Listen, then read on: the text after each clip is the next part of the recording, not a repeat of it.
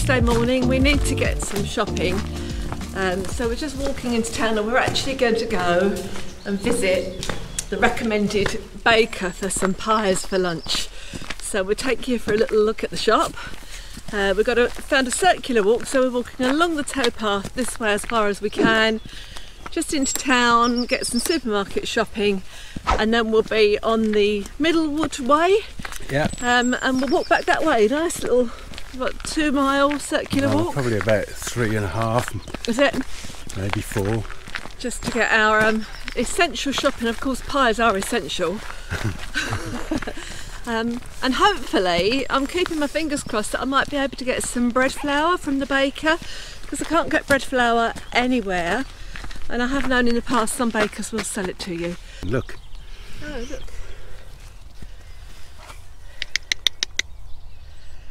Look at him running. There is some confusion with our American friends about pies. it seems consensus in America is that uh, pies can only be filled with fruit. But uh, over here, a pie can be filled with fruit and often is, as in apple pie. But uh, we love a meat pie with gravy. So you can have steak and kidney pie, chicken and mushroom pie. Uh, you can have fish pies, but uh, you can also have vegetarian pies. You can have cheese and onion. Uh, any others, Fran? Well, it's endless, isn't it? Yeah. Sweet potato seems to be the thing, but I you're don't a sweet, sweet potato, potato. aren't you? But uh, we make uh, leek and mushroom and cheese pie. Oh, yeah, that's lovely. Um, although we don't put cheese in it, but we have a leek and mushroom pie. There's also a, a northern pie a few people have told us about, which is a potato and Potato and meat pie, it's like oh, mincemeat, oh, isn't it? Oh, I don't know. There's Cornish pasties, it's all sorts, but generally we prefer the savoury pies, especially the men. Men, it's a pub with a pie and a pint. It's the done thing, isn't it? Yeah. And I'm quite partial too. Right, Right. we'll see what this shop has to offer. Cyclists Doggies, approaching. come on. Hey! Come here. Some more coming from behind. Jess, come here. Stay, Stay. Stay. stay. Hiya.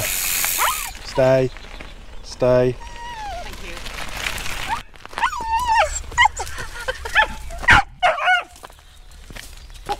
An idiot. As you can see, the towpath along here is quite narrow, which is why we had to move along to pick and choose our mooring spot. Because by the time you've got cyclists going past, there's, there's no way you can safely be moored. No, and also like you, there's no way you can moor along here. It's just uh, it's just no good. So you have to keep going until you can just see the boat at the other side of the bridge. You have to keep going until you can find somewhere suitable to moor, which we have, and we like it. It's good.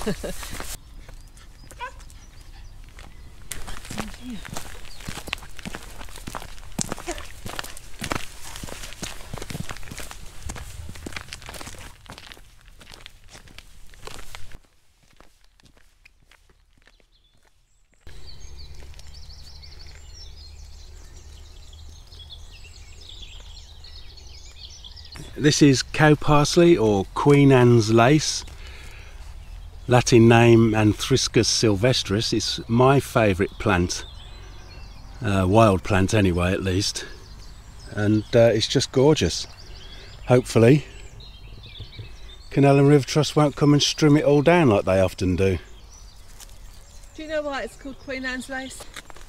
Pray tell. Because back, I don't know which Queen Anne it was. How many The have we Queen had? Anne, we had one. I think so. I'm not very good at real history, but Queen Anne, which was right way, way back, um, there was a parade and the peasants were weaving or making lace for her, and it was this time of year, and uh, it was supposed to resemble this flower, the delicate um, lace making. So that's why they called it Queen Anne's lace. So there you go, Oh, you heard it here useless information.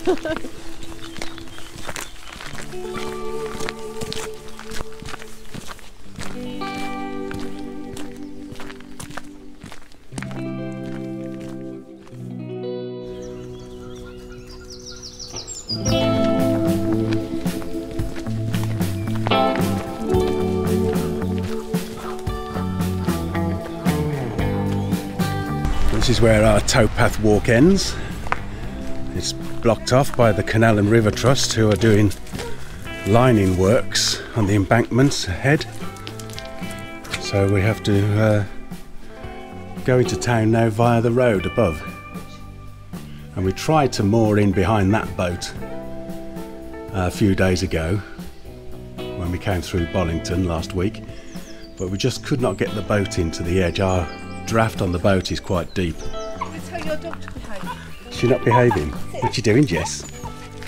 Come on then, sit. Sit. Good Oh. girl. Good girl. Mummy, put your lead on. Jess always does what Daddy says, and she hates having her lead put on. Watch this. Uh-huh, she's a good one. Yeah.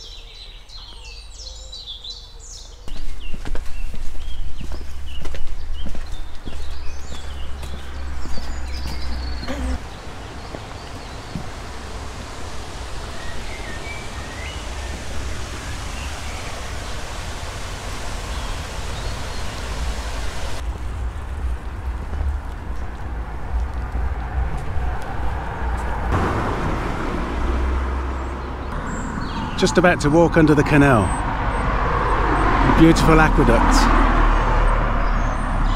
And I think lockdown's beginning to fray. The traffic on this road is so busy.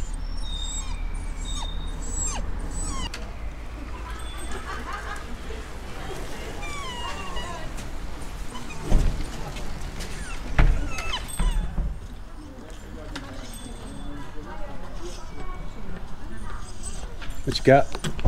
Well, I've got bread flour. Yeah. Two lots of their own bread flour, which not a is pie, is brilliant. it? I've got a Bakewell tart.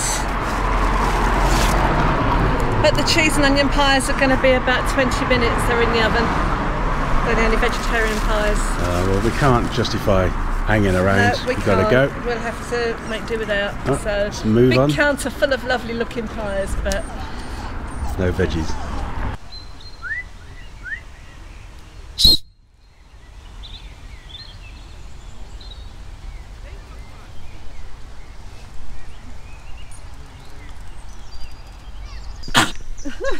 Lovely.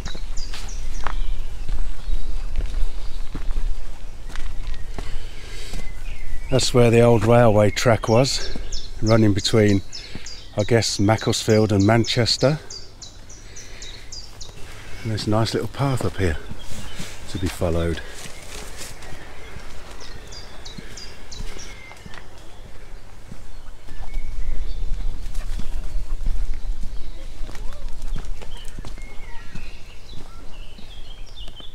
What's cooking, friend? well, nothing's cooking. It's raw. so I've been and picked. It's wilted a little bit now. This plant is called Jack by the Hedge, or garlic mustard. Um, it's quite easy to identify. It's got these leaves, but don't take my word for it. You need to look up in books and find out exactly what it is. And the leaves, um, funnily enough, taste of garlic and mustard. So I'm going to have a go. I've not done this before. Making some pesto with this, um, and we're going to have it on some pasta if it works. So I've picked these younger leaves, not the great big ones. I've picked um, about a cupful of these young leaves and just chopped them up in a bowl. They've been washed off a little bit and dried, so they're going in with a quarter of a cup of walnuts. You can use pine nuts, but I don't have any, so it's just chopped walnuts They're all going in. Two cloves, cloves? Two cloves of garlic, just roughly chop, chopped. It's all going to be blended.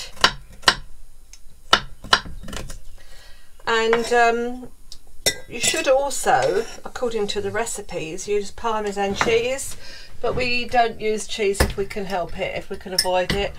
And we've recently discovered um, this stuff called nutritional yeast, um, which looks a bit odd, but it adds a real cheesy flavour to anything vegan or vegetarian that you haven't got cheese for. It's not strong cheese So, flavour though, is it? It's, It's not. It takes a little bit getting used to, but we quite like it. So instead of it should be a quarter of a cup, I'm going to put that much nutritional yeast in, otherwise known as nooch Nooch, the youth call that it. the youth. and um, just going to give it a little stir together in here. Ideally, this goes in a proper blender or a food processor now, which is something that we don't have.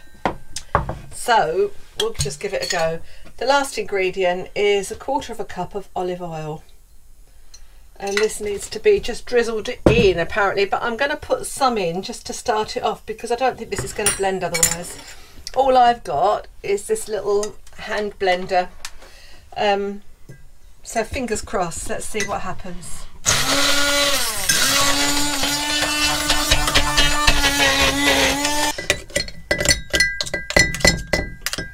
We've blended it down and it looks pretty much like pesto.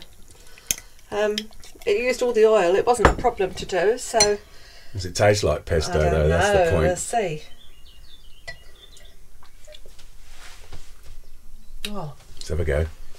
That is really good.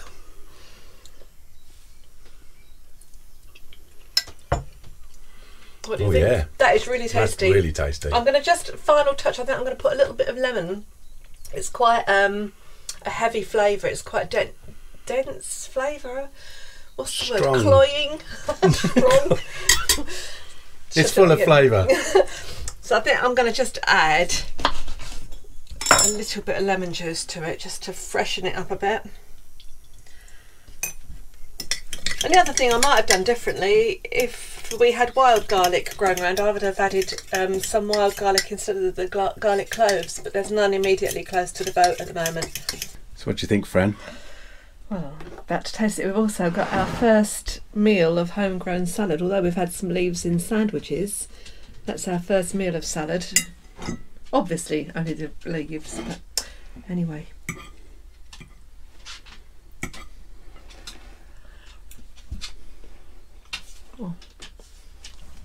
Good. Mm. Oh, that is really good. Really good. Well, we're back on roof painting duties after a week with uh, rainy spells and uh, my hay fever keeping me inside for three days on end. So what we're doing is just preparing the uh, surface as best we can. So use this to scrape off the flaky areas around the rust and then give it a good sanding down. And if that's not good enough we'll get the drill onto it just to uh, smooth it right out. Then we give the roof a good clean over and then the areas that are exposed that are rusty we treat with this stuff. A thin layer of Fertan destroys rust and protects steel, apparently. Having fun, Fran? Wonderful. We it's love all right, it. actually. It's, it's, we, we hesitate to come out, but once you get started, it's perfect weather for it. And we really, well, I can't say we don't mind, not after what I made on the comment I made on the last video about not missing pubs. I, can't, I can't say we don't mind it, but it's not that bad. It's a lovely day. Just get on with it for a couple of hours. So, yeah, it's not weaving though, is it? No. So we won't be painting the roof in this bright light. It's a bit uh, of a killer on the eyes, so we'll wait till the sun's going down or early morning give it a coats. We're going to put three coats of paint on after using primer on the exposed areas and undercoat and then three coats of top coat. So it's going to take us a, a good three days to finish off but uh, it's going to look great. So our first primer on the roof and letting that dry for a few hours before putting the second coat on and just going to reverse behind us and go to the uh, water point at the boatyard further behind it's about a mile away so uh, better straighten up first eh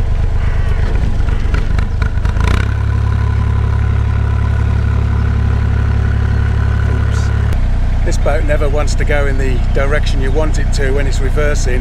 Always wants to swing the back end the opposite way to which you want to go. But we're getting there.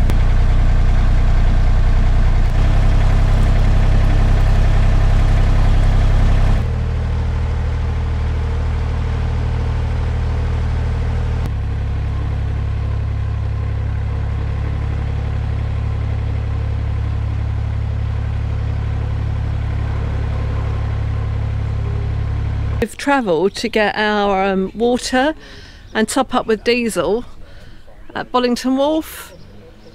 And look what I see now.